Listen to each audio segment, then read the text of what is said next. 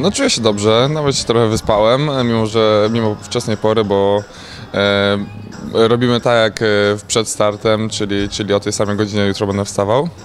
E, a czuję się dobrze, hotel fajny, jedzonko dobre. E, podróż e, w miarę spokojnie, tro, trochę mieliśmy opóźniony lot, e, no ale pół godzinki to nie, nie, nie, nie nic strasznego.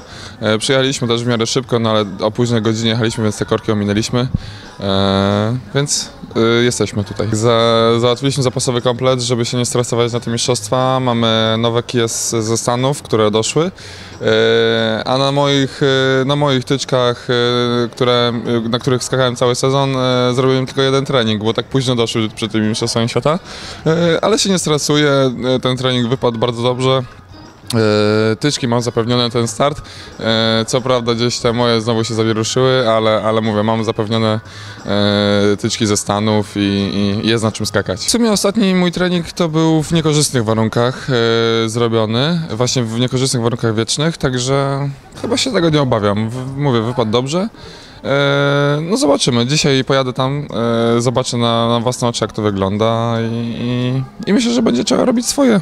Ja jestem takiego zdania, że ta forma nie ucieka z dnia na dzień. Od Mistrzostw Polski e, nie minęło jakoś dużo czasu, a wrę, wręcz przeciwnie, ja jeszcze tą formę mam nadzieję, że doszlifowałem tymi technicznymi treningami. No i mam nadzieję, że będzie ciekawie.